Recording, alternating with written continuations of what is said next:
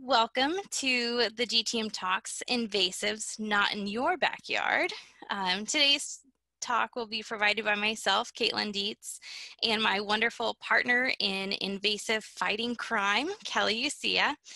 Um, we'd also love to know who all has joined us today. So if you can find your chat box, please share with us your name, where you're tuning in from, and share with us what you think the plant in the background of this slide is. And I know several of you probably know this because you've helped out with some removal of this. So if you do, you know, you can share your answer with your friends who are also on the line. Ooh, Irene, she got it right off of the bat. Irene Kaufman says it's Brazilian pepper. I love the question mark though. Like she wasn't quite confident in the answer. well, you will of see course. plenty of pictures of it later today, Irene, so you'll feel more confident in your answer in the future. Welcome, everybody. So, we have some folks tuning in from Ponte Vedra Beach. We have Sally from Gainesville. Kurt Foot from Fort Matanzas National Monument. And Kurt definitely knows what some Brazilian pepper looks like. So good to have everybody on. And feel free to keep introducing yourselves in the chat box. Um, and we will go ahead and get going. So to share a little bit about myself, um, my name is Caitlin Dietz and I'm the Coastal Training Program Coordinator at the GTM Research Reserve. I am based out of the Visitor Center up in the Ponte Vedra Beach office.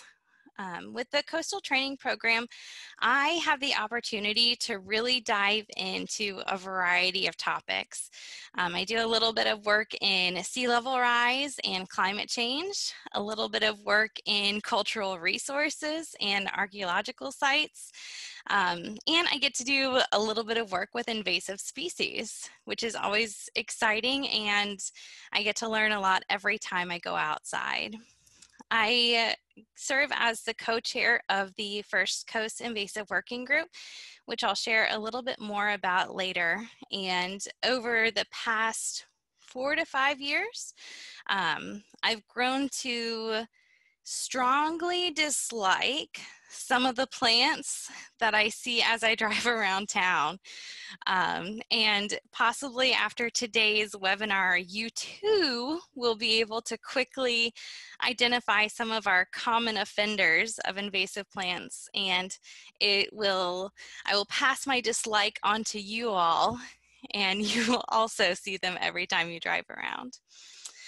Um, the GTM Research Reserve, for those of you who are new to who or what we are, um, it is one of 29 national estuarine research reserves around the country.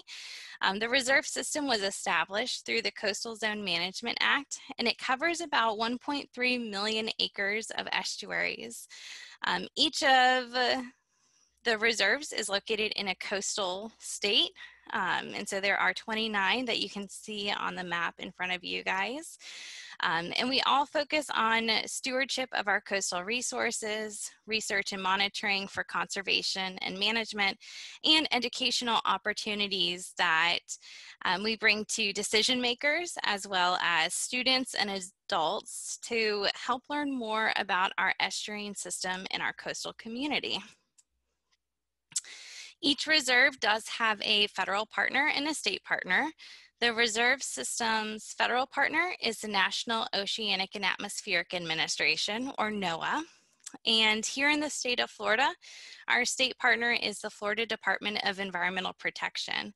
Um, and then locally at the GTM Research Reserve, we have a local supporter, the Friends of the GTM Reserve, and they're actually the host of today's GTM Talks webinar series.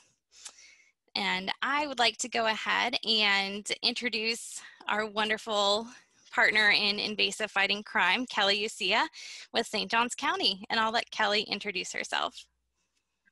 So I work for St. Johns County. There's a map of it here on your screen. You can see we run all the way from Ponte Vedra down to just before Marineland, over to the Hastings area and up into Fruit Cove.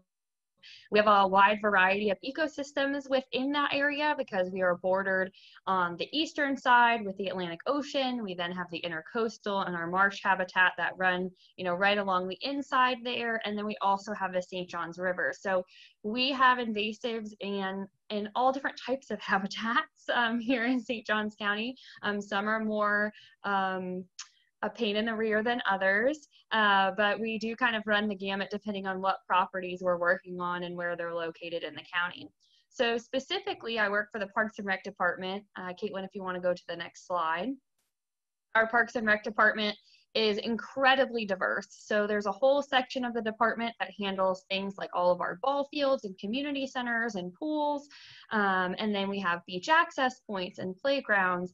I really specialize and work in our passive park uh, areas. So our um, beaches, our trails, our waterway access points. And then I occasionally dabble into some of our active recreation sites where I can work on projects there to ensure that maybe we're utilizing the best plants in our landscaping that are a little more um, Florida friendly and native. We actually just finished a massive landscaping project last week that is all native and Florida friendly plants and removed some of these invasive species that were kind of uh, weaved into our landscaping. So uh, here at Parks and Recreation, we're working really hard to move towards um, managing our invasive species and removal and eradication where possible.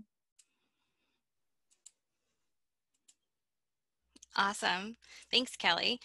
Um, so throughout today's presentation, we're going to give you a little bit of information about invasive species, um, what's being done to help manage invasive species, and then we'll go over a couple of those common offenders that we see regularly in St. Johns County.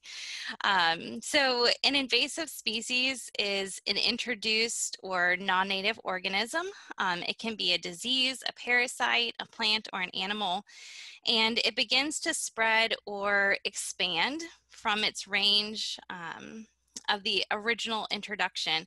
And a lot of times these invasive plants, or most of the time, these invasive plants cause harm to um, the environment, the economy, and sometimes to human health. Um, and when they're introduced, when these invasive plants are introduced into our ecosystems, um, a lot of times they don't have natural predators or an ability or something to help control the population. And so they can repopulate and breed or spread or produce seeds and start to quickly take over natural areas. Um, and depending on whether it's a plant or animal, um, the native species often do not have defenses against these um, introduced plants or animals, and they're not able to compete. Um, sometimes invasive plants or invasive wildlife species um, prey on native species, um, or if it's a invasive plant, they will compete for resources such as sunlight or water. Um, and they really do change the food web within an ecosystem by destroying or replacing native resources. So they can be detrimental to the natural biodiversity of an ecosystem. Um, and sometimes if it's a really aggressive invasive plant species, it can completely um, decimate a natural area and create a monoculture. Um, and when it does that, you know, it doesn't really provide the food source for any wildlife. Um, it sometimes can change the soil chemistry, altering what else can grow in that native or natural ecosystem. Um, and sometimes our invasive plants that are coming in can increase wildfire intensities. Um, they might burn hotter, they might burn faster. Um, so these invasive plants really are creating a, or they're disrupting that balance of our natural ecosystems. And invasive species can, like I said, be diseases, they can be plants, they can be animals. Um, several of the top invasive plants here in the state of Florida um, that you guys have probably seen in the headlines um, are Burmese pythons or feral hogs, Cuban tree frogs, um, the tegu lizards, um, iguanas, and there's plenty more. Um, but invasive species are not just limited to land where we see them, they're also um, in the waterways. There are aquatic plants that are considered invasive, like water, let- water lettuce or um, feathered mosquito fern. Um, and then there are also invasive animals within the waterways, um, like lionfish, which I'm sure you guys have seen photos of um, or you've heard about the lionfish rodeos where they try to capture as many lionfish and remove them from the ecosystems, um, or green mussels, which are sometimes found in our oyster beds here in Northeast Florida. An aquatic um, invasive species can disrupt the waterways, they can uh, harm boating activity, um, and they can really change the food web and the ecosystem of our estuaries here. Um, today, though, we are going to focus on invasive plants and invasive terrestrial or upland plants for the most part, um, because those are the ones that we often see in our backyards, in our front yards, as we're driving down the roadways. Um, we'll still share with you guys um, at the end of this some resources for aquatic um, plants and animals and um, can always help answer any questions, but today we're just gonna focus on those invasive plants that we have. So first thing I wanna talk about is the characteristics of invasive plants. So we have lots of plants here that are not from Florida, and there are specific characteristics which um, make certain plants more prone to being invasive. And these are just kind of a general listing of characteristics. One is that they're tolerant of variety of soil types. Um, here in St. Johns County, we're mainly going to have really sandy soil, um, but even the types of soil and maybe the pH of the soil is going to vary depending on where you are. They lack predators, right? There's nothing keeping them in check. So wherever they're originally from, Madagascar, Asia, South America, they have something that allows them to stay more or less contained where they don't explode and go everywhere. Um, allelopathic is a super fancy science word that basically just means it changes the soil chemistry and it makes it so other plants don't want to grow around them. They basically stake off an area and say, this is mine, nothing else is growing here. And that's obviously not a good thing. Um, they're tolerant of a wide variety of weather conditions. We have a rainy season here and a dry season, and they kind of have to be able to handle both. Um, in certain areas, especially along our 42 miles of uh, beach here and our intercoastal areas, they have to be tolerant to the salt conditions as well. A key, these last two are key and pretty much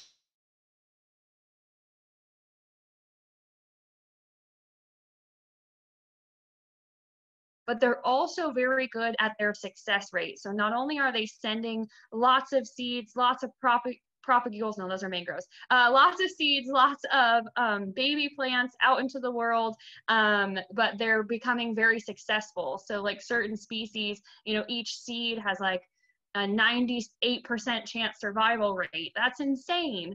Um, and then they're fast growing. So, especially in areas that are disturbed, um, that we have either cleared for development or that are naturally disturbed due to things like hurricanes, they'll move in really quick and just establish. And they're really fast growing and taking over those areas. So, those are just some general characteristics of some of the plants we're going to talk about today. So when we talk about invasive species, you might think, you know, okay, it's a big problem and it's important, but why why should I care? Why do I really need to be mindful of what is growing out there? Because a lot of times, you know, they look pretty and it's green, so why disrupt that? Um, well, it's important because managing our invasive species helps us protect our natural resources that we enjoy experiencing. The reason that we're all here, the reason that we go outside and volunteer or explore our natural resources. Um, more than 4,000 plant species are found here in Florida. And of those, about 1,300 of them are considered non native or exotic, meaning that they have been introduced from other states or other countries. And of those, there are over 100 of them that are quickly spreading through our natural areas in the state of Florida. 100 that's a lot and for land managers that's overwhelming. Um, fwc which is the florida fish and wildlife conservation commission estimates more than 1.7 million acres of florida's natural areas are infested with invasive species. And according to the u.s forest service invasive species have contributed to the decline of 42 percent of the threatened and endangered species. Um, now, that's not including just plants, that's plants and animals, but invasive species are really having a detrimental impact on our native wildlife that we see.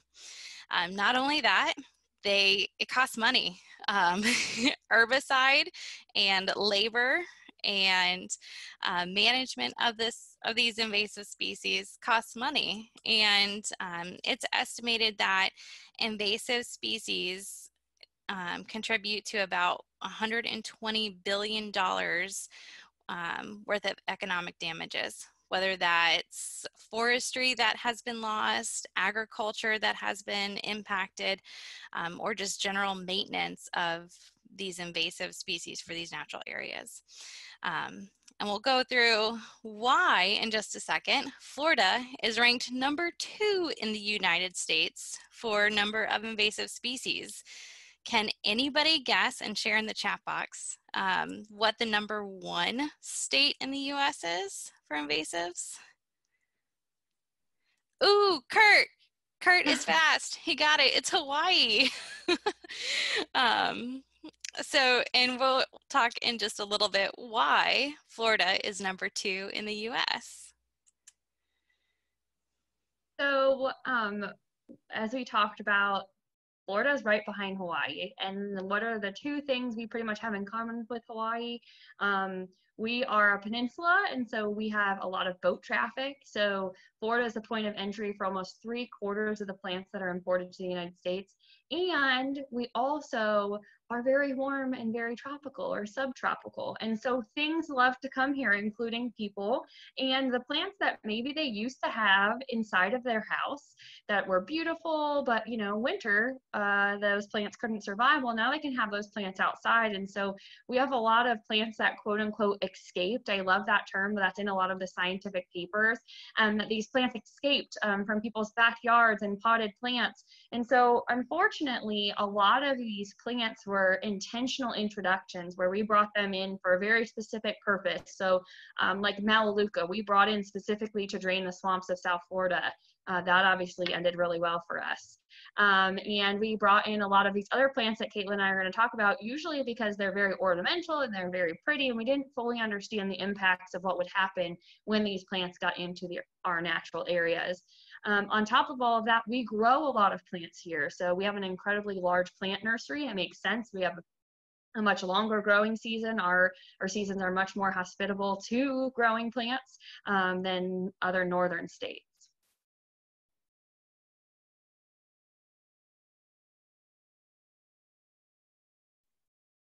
So we have an idea of how they got here. There's a bunch of different mechanisms. I will tell you, number one is like we did it. We brought them here, uh, usually on purpose.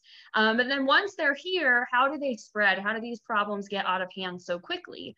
Well, the first three are very natural instances in which they spread, right? Wind spread, wind spreads seeds, water spreads seeds. Um, animals also spread lots of seeds. Um, those birds like to eat especially some of these berries on these plants that we will talk about, and they come out the other end nice and fertilized. Um, not so great for us. And then the bottom three here are really, um, we can point the finger at ourselves. So equipment, a lot of times um, when we have people come in and do invasive species removal, we actually have to inspect their equipment before they come on property because we don't want them coming from their last job and tracking in seeds of a species that maybe we don't have on our property. Um, and so when we utilize these mowers and things, especially in right of ways, and we're moving uh, from one site to the next to the next without washing or rinsing off our equipment. We're transporting seeds.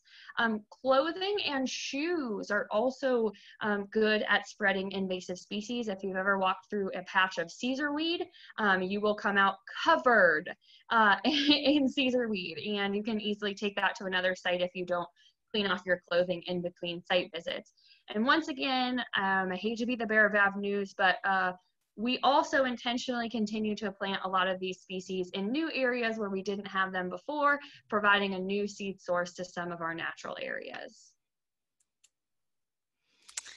So hopefully we've convinced you that invasive plants are bad um, and that it is a pretty big problem.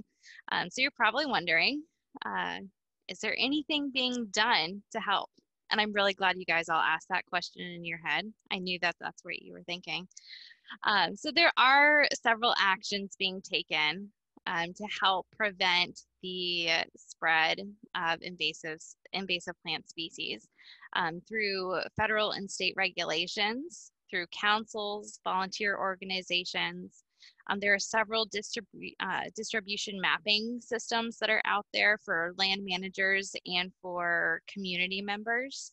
Um, and then educational opportunities like this one to help make sure that everybody is aware of what invasive species are, um, what they look like, and what they can do to help, um, you know, control the invasive species spread and help protect our natural areas and promote that natural biodiversity that we all love. So at the federal level, um, there is a federal noxious weed act, among several others, that um, that regulate the transportation of invasive species across state lines. They also prohibit the sales of some invasive species, um, but you'll see in a little bit that not all invasive species are um, federally or state regulated.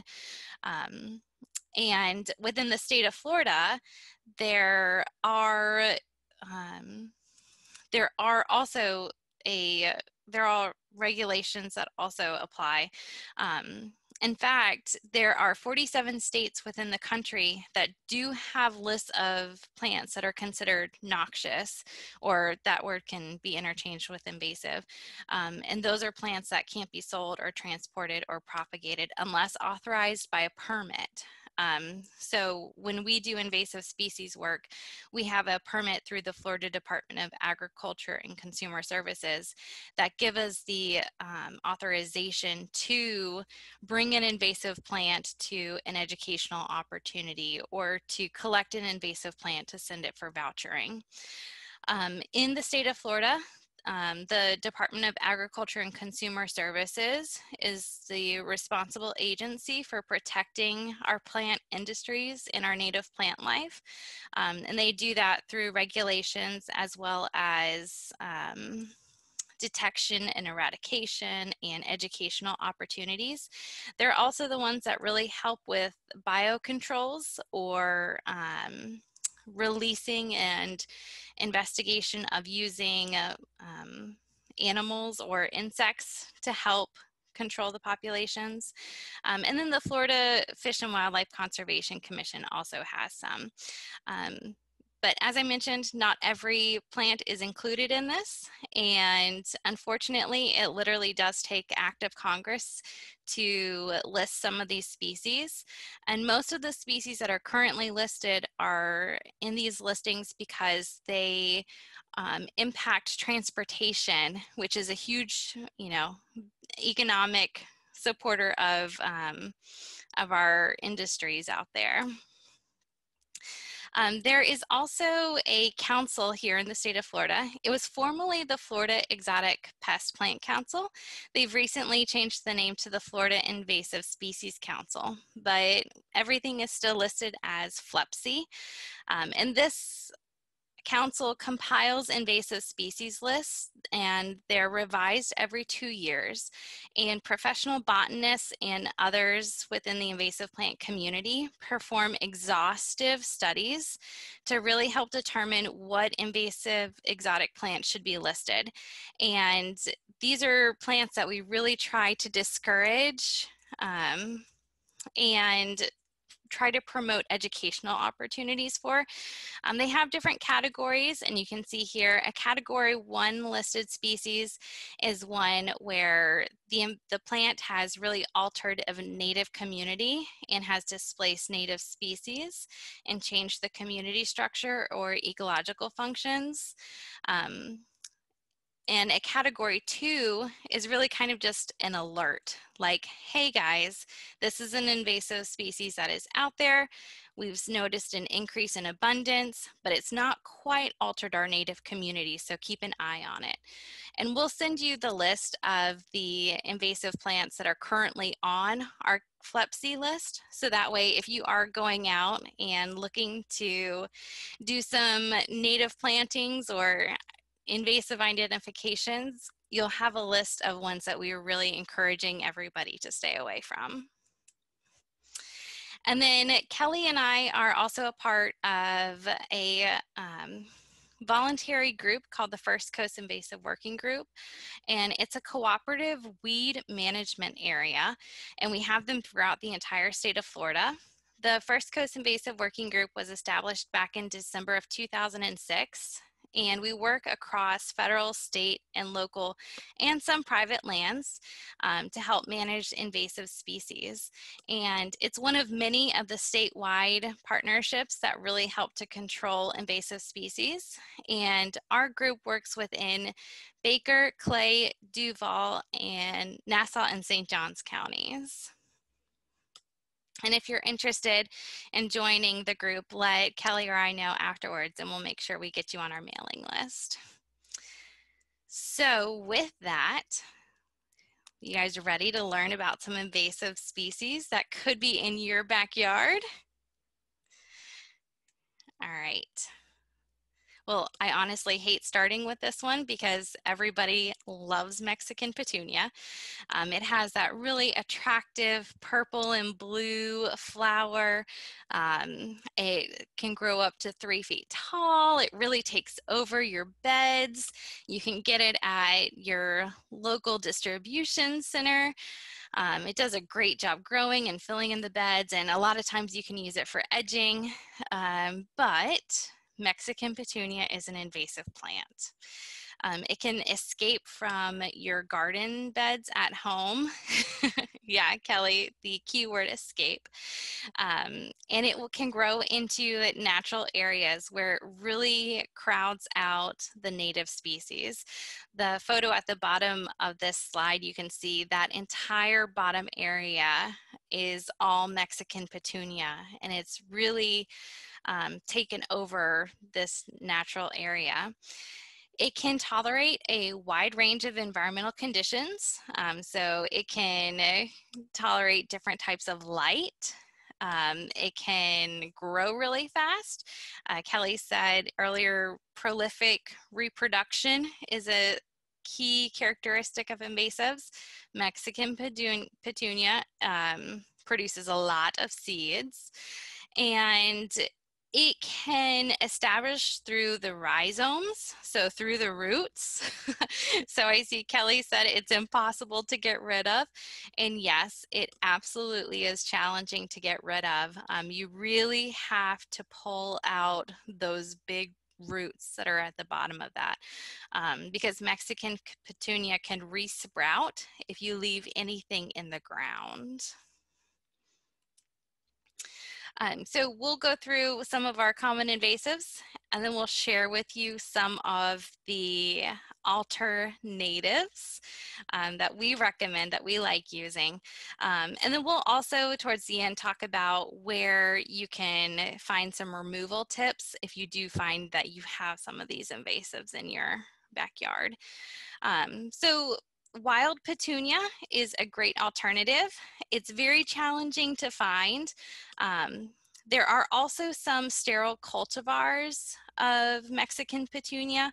Um, and I believe some of the sterile cultivars come in white and pink, but you really need to make sure and trust who you're purchasing your Mexican petunia from to make sure that it is the sterile variety.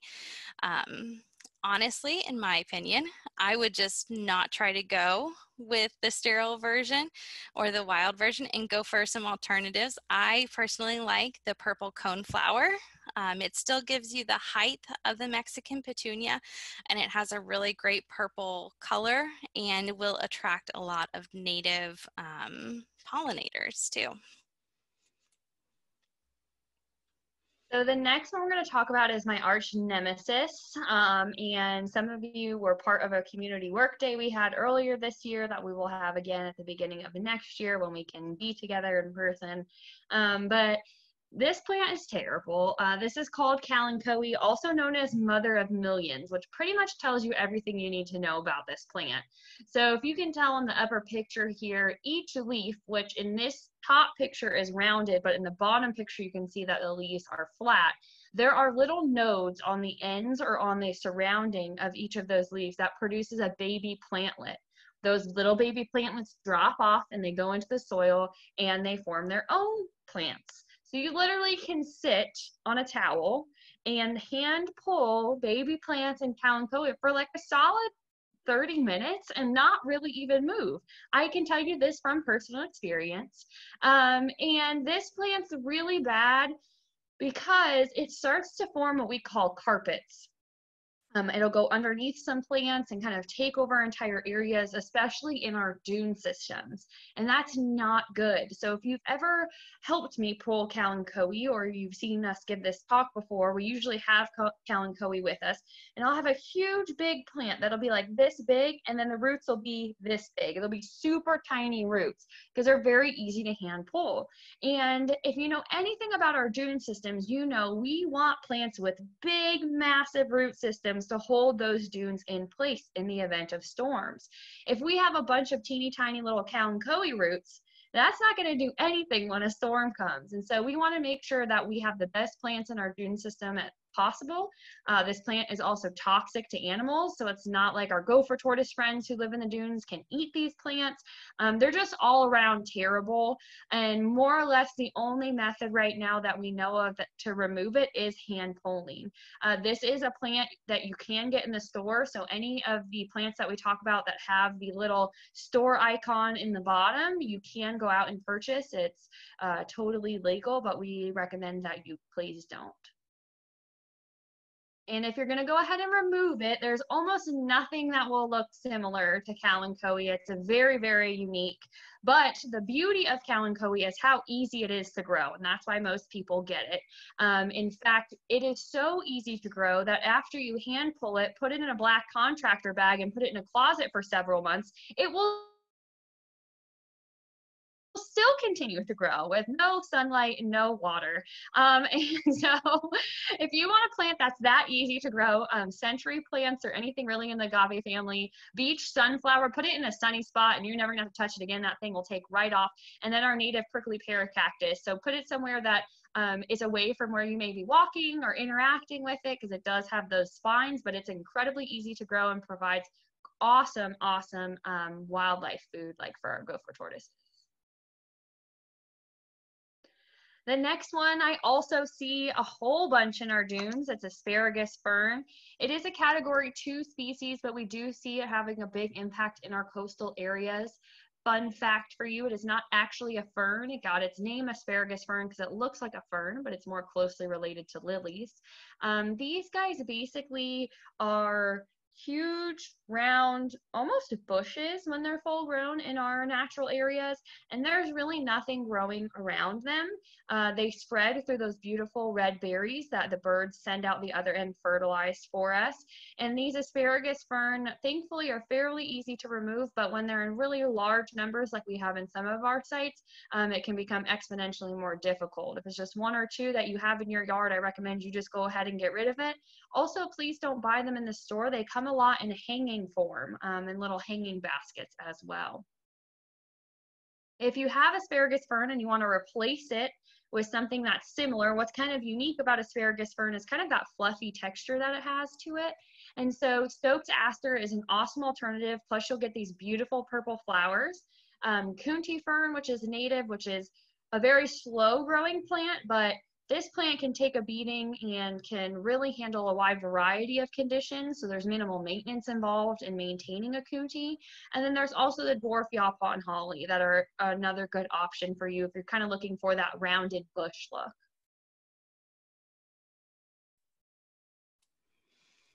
Um, I'll go really quickly over this one. Um, this is elephant ear. It looks very similar to taro. Um, and the distinguishing feature where you can tell the difference between the two is where the leaf attaches to the leaf stalk. Um, but for, day, for today, don't worry about the difference because they're both invasive. so you don't want either one of them. Um, what's unique about elephant ear is that a lot of um, folks use the tubers um, for eating. Um, so it is edible. It's a popular food source. Um, once you harvest the tubers, they can be stored for several weeks. Um, unfortunately, though, elephant ear is very aggressive and it will quickly grow and outcompete and shade a lot of that native vegetation that we like. Um, I see this a lot when I'm driving around in um, drainage ditches or where there's some good water sources.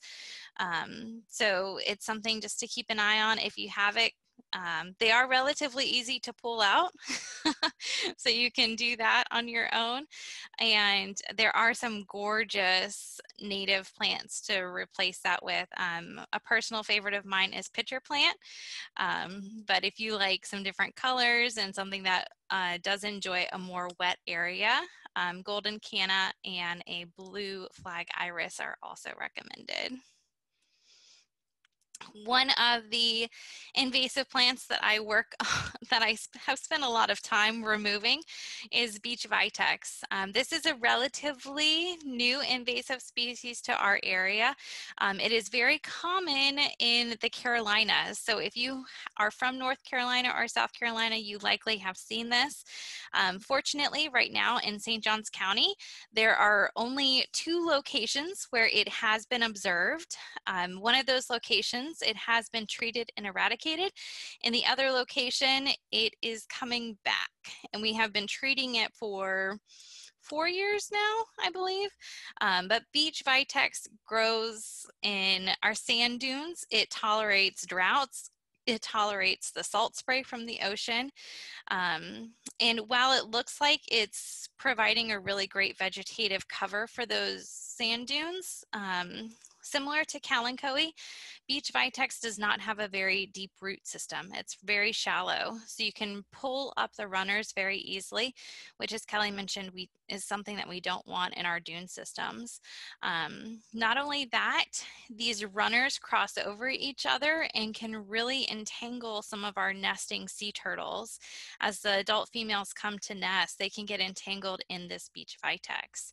Um, so if you do see it, please reach out to us. This is a species that we can we call its early detection rapid response. So it's one of those because it's so rare or it's very limited in our community. The second that we see it, we do want to try to get out there and treat it immediately to stop the spread of it. And there are some beautiful alternatives for beach vitex, including the railroad vine, which is thriving right now if you've been out onto our beaches. And it'll still give you that really pretty purple flower and nice runners that go across the dune. So the next one here is incredibly common in landscaping, especially in our coastal areas. So this is called silverthorn. And once you start to develop an eye for it, you'll start to see it everywhere, just like I do. The underside of the leaf has a silvery tint, and that's where it gets its name from. And typically, these are trimmed into really nice hedges. And when they're not trimmed, or they've gone a little bit without being trimmed, they start to get almost like they stuck their finger in a light socket. Like they start to get all these crazies kind of growing out of the um, hedge there. And so these guys, once again, very prolific in our coastal areas. They are not from here, they're native to China and Japan And in our coastal areas, because we obviously aren't out there hedging them, um, they can actually grow into vines and climb on trees and harm vegetation. And on our coastal dune systems, they can form into like really large bushes um, and once again start to grow on some of our native vegetation like vines. And so that's not a good thing. We don't want a plant like this kind of taking over our good vegetation that we want in our areas. So if you're going to get rid of silverthorn, um, some of the alternatives that we can suggest are sea grape. I love sea grape. So if you're someone who enjoys silverthorn because of the uniqueness of the silvery color, uh, look for sea grape. It has a really unique, really round, beautiful leaf um, that can be hedged um, if you start trimming it uh, early enough. Simpson stopper is amazing for hedges. It gets these awesome, awesome red berries on it that the birds love. I have one in my office, and uh, if those berries don't stay on there for very long, those birds are all over it. So they're awesome wildlife. And then wax myrtle trees if you're looking for something that's going to be a little bigger and a little bushier. Another common invasive plant that guilty I do have in my backyard is Chinese tallow. Um, it was brought over from China for its seed oil and is considered an ornamental. And that seed oil um, used to be used to make soap. Um, what's really it's considered ornamental because it does look nice when it is growing. It will grow fast and it has a really attractive fall color. Um, unfortunately, though, it the seeds that are dispersed and the roots do not um, they really out compete anything around it um, it has those allelopathic properties that Kelly mentioned. So in the one in my backyard, you can see kind of a ring forming around the Chinese tallow tree where more Chinese tallow trees are starting to come in. Um, and it prevents anything else from growing nearby it. Um, the leaves, unfortunately, and the fruit can be toxic. Um, if you have Chinese tallow near an agricultural setting, um, the leaves and the fruit can be toxic to cattle. Um, and it can also be harmful to humans. Um, so if you decide you want to try eating this, because there are some folks who, you know, I, you know, there are great edible properties and edible plants out in our community. Please don't try to eat this one um, because it can cause an upset stomach um, and really make you feel ill. Um, there are some great alternatives to Chinese tallow if you really like the the look of it as it starts to grow out. Um, I personally love a red maple tree, and I also have one of those in my backyard. And it still gives you that light green color, um, and it'll grow nice and full. Um, and the last invasive plant species that Kelly and I want to share with you guys all today is Brazilian pepper. And that was the plant that we shared with you at the very beginning of today's webinar. Um, Brazilian pepper is starting to really take over a lot of the natural area here in St. Johns County. Um, it was brought to Florida in the 1800s as an ornamental and since then infests over 700,000 acres here in Florida. Um, if you are from South or Central Florida, you are very familiar with it. And if you are further down in St. Johns County, you are starting to see it more. Um, to date, the northernmost Brazilian pepper tree, um, and it's actually a lot of them, are up in the Fernandina Beach area. So that's as far as they have started to spread. This is a really tall, multi-trunked tree. Um, sometimes it's considered a shrub, but in the areas that I've seen it, it's about 30 feet tall, so it's pretty, pretty high. um, they do flower in September, and they do have fruits or those red berries that usually mature in December. And it really is one of the most aggressive and widespread invasive plant species here in Florida. Um, it shades out all of our native plants. And to be honest, the red berries do not provide nutritional value for our native wildlife. Um, so these are just a couple of photos of the Brazilian pepper in different stages. So you can see it as a seedling, as well as when it starts to become a more mature tree and starts to kind of look like finger-like projections coming out of the out of the trunk of the tree. Um, and Kelly actually has a great example of an invasive removal project that she's worked on with Brazilian pepper. So um, this is one of our beach walkover sites where it was nothing but Brazilian pepper growing. And so we worked with FWC to get um, a grant with them to help with the removal. So we removed it all and then we replaced it with native plants. So that's what it looked like last November after we removed all the Brazilian pepper, cut it down, got rid of it because we didn't want to leave all of these dead trees there. Um, and so we've gone ahead and replanted with natives. This is last November. And then I went just last week and took a picture of the site. And about 10 months later, this is what it looks like. Um, I have a handful of Brazilian peppers that need to go back and be retreated. I think I counted about three. So I will take it. Uh, I don't have a tunnel on my hands. Uh, but there's beautiful, beautiful native plants that are thriving in there. I wish I could get all the pictures of all the amazing things that are in there, but there's there is coral bean and bee balm and cactuses and all sorts of really cool stuff. And this is going to be a good example of what we can do in the county. And then actually my background is another example of a project. Uh, this planting went in in March and we did that removal, I believe, in about January of this year. And so there are now two good chunks of tracks that were entirely monocultures of Brazilian pepper that we have replanted with native species and all of the animals and pollinators are so happy at this makes me smile every time I visit both of these sites because it's so beautiful now. And Kelly, and if you have Brazilian pepper and you want to remove it, which I highly encourage you to do, uh, if you're looking for something that has that red berry and a similar look, uh, Yaupon holly, Simpson stopper, and East Palatka holly, which is a much larger version than a Yaupon holly, are all awesome alternatives. So if we've gone through these slides and you realize, oh gosh, I think I have some of these invasive plants in my yard, um, don't worry. Hopefully you have gotten through the first step and we have helped you identify what plants you have. Um, and we'll share with you a resource in just a little while um, about removal methods. Um, and then once you remove it, we can also recommend some great natives. And a lot of the resources that we'll share with you um, following up with this webinar are some suggestions of what natives to replace your invasives with. And then monitoring for regrowth. So Kelly mentioned last week she went back out and did an assessment of the property and realized that there are some invasive plants that are coming back. And I hate to tell you this, but that is what invasive species do. They will come back.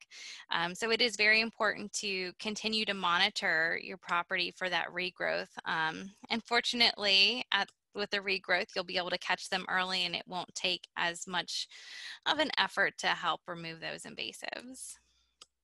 Um, so one of the sites that we do strongly encourage you to visit that we'll send a link to um, for removal techniques and management is the University of Florida's um, IFAS Center for Aquatic and Invasive Plants. Um, they give you several different types of management techniques. Um, preventative, which oftentimes is don't plant it. Um, they also give you cultural, mechanical, biological, and chemical techniques techniques. Um, we, you are always more than welcome to try the mechanical technique first. It'll be a very labor intensive um, and you'll need to make sure you get the full plant out of there. And hopefully the mechanical technique will work for you but I will be the first to tell you that invasive plants are invasive for a reason, and Kelly shared with you some of those characteristics. Um, so there are some invasive plants that do require chemical uh, management techniques. And so this resource will tell you what type of chemical management um, is recommended. And then as always, make sure that you are following all of the directions on your chemical um, labels to make sure that you are using them appropriately. And some of these plants are evil, like Brazilian pepper, and even if you cut it down, um, it, you have to actually get the chemical applied to it within about five to 10 minutes of cutting it down, or it will heal itself over and regrow from that stump that you just cut to the ground. So, um, like Caitlin and I said, we definitely recommend the mechanical, but sometimes it's just not an option to manage these plants effectively. So if you're sitting here and you're like, hey, my yard's invasive free, I'm good to go, I don't have to do anything, think again. There are definitely things you can do. One, don't become part of the problem. Um, please don't plant them. Two, help with local removal efforts. Every single year, there's a weed wrangle that happens in our area that the First Coast Invasive Working Group organizes. It's a huge collective work day to remove invasive species from various parts of our First Coast. Educate your neighbors. Now, educate your neighbors that you think would be receptive. Uh, don't go to the guy who's always yelling at people to get off their lawn. Probably not going to be receptive to you telling him that you have they have Mexican petunia growing in their landscaping and should get rid of it. Um, also with that, if you have a community board for landscaping, which a lot of the large HOAs do, uh, become a member of the board or go speak to the board about utilizing native and Florida friendly plants in your landscaping efforts because you may have invasives in your landscaping of your HOA, or maybe you have some non-natives that require a lot of water and fertilizer that can be replaced with natives that require less effort. And then show support for local removal efforts. If you um, have interest in removing invasive species in our public pro properties and parks, um, or you know about them, please let us know. And when we advertise that we're doing these projects. I love a good email of somebody saying I'm doing a good job. Um, it's way nicer to read than somebody complaining about me trying to do a good job. So um, anytime you kind of get those PSAs about us doing some invasive species removal, support that can be shown for the project is always a positive. And if you've gone ahead and removed them and you can't remember the alternate alternatives we suggested, floridayards.org is an amazing resource where you can go in and pick what type of plant you are looking for, a tree, a flower, a grass, a vine, um, and putting the parameters of your site. Do you have sandy soil? Is it a really shady spot, a really sunny spot? What kind of water do you get? Does it need to be salt tolerant? So kind of put in the conditions of where you're looking to place the plant and just go ahead and hit find plants and it'll generate a whole list of really good um, either Florida native or, and or Florida friendly options that typically are easily sourced at a local nursery. And for those of you who are out in the community, um, all of your eyes are greatly appreciated because land managers are very busy managing their lands and would always appreciate an extra set of eyes out there. Um, there is a phone application, or you can also use it through your web browser called I've Got One, and it helps with um, marking observances of invasive species and being able to track real time where invasive species are helps monitor the range expansions that we might be experiencing with climate change or with um, increased development or potentially increased you know, pet releases that might be a challenge um, and will really help with developing distribution maps. And these uh, observances are used in a lot of the regulation and decision making. Um, so being able to track and provide evidence of where these species are is very helpful. Um, and anybody can use the uh, I've Got One app. You don't have to be a land manager. So if you're out there and you see something that looks like it, um, it works very similar to iNaturalist and you upload a photo and your location and it'll send it off to a um, a second identifier who can confirm or deny or even go out into the field and just confirm what that plant is. And so with that, Kelly loves, or she's used this joke a lot of times, and I absolutely love it. So we will go ahead and um, take any questions that you guys might have at this point in time.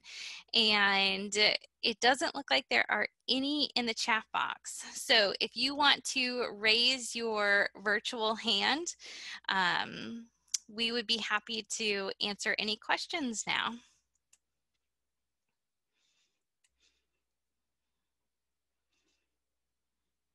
Irene, if you want to go ahead and take yourself off mute. mute myself.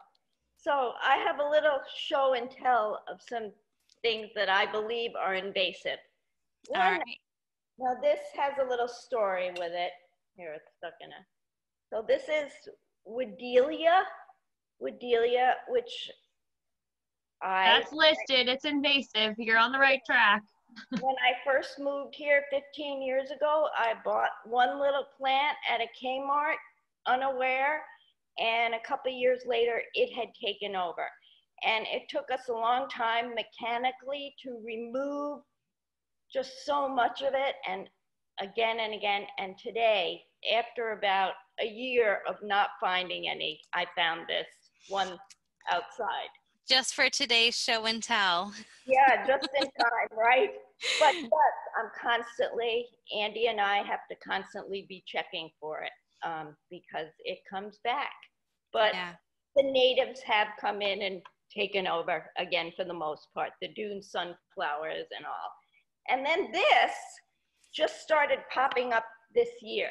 This star shaped grass. This is a grass.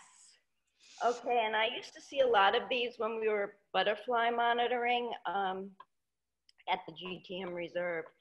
And so I believe this is an invasive type of grass, but I might be wrong. And this, I would have to double check. I know there is an invasive um, grass that looks similar to that. It's called crow's foot.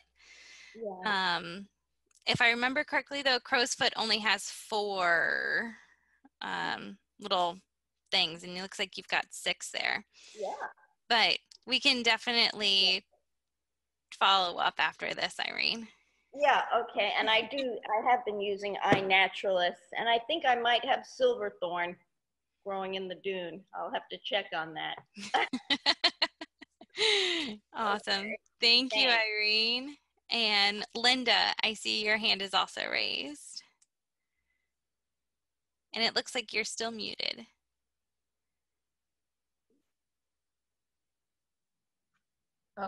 You muted. You unmute. There you go. Unmute. There we there go. you go. Okay, yeah, this is Linda and Dave, and uh, we were wondering if if these plants are on the invasive species list, why are they still for sale?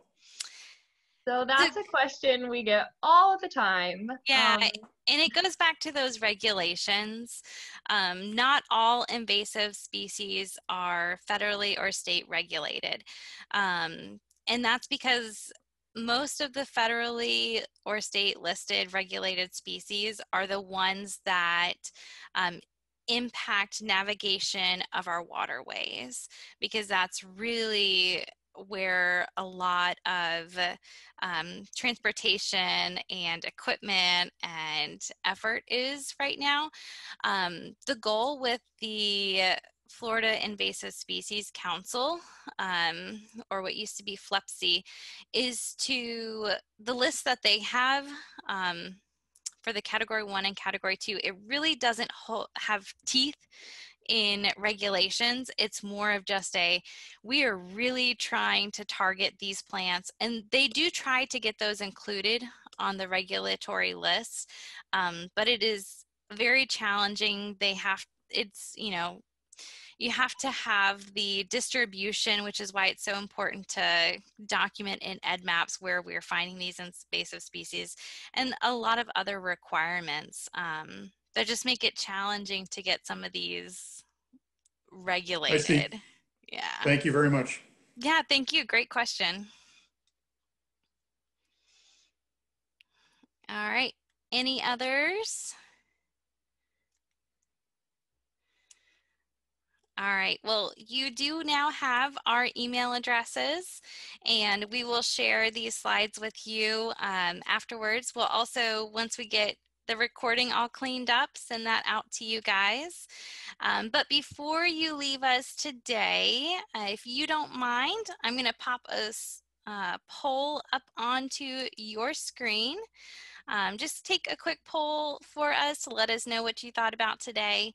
Um, we'll stick around for any last questions that you guys might have. And we're very glad that you guys were able to join, and we hope that you take this knowledge from today and share it with your neighbors, your your HOA if you feel comfortable doing that. Um, or just, you know, whenever you're out and about checking out some plants. Yeah, hopefully now you're like Caitlin and I and you see them everywhere and they bug you just as much as they bug us. and this was just a sampling. Yeah. if you're really interested in invasive plants, let us know and um, we'll share everything with you guys.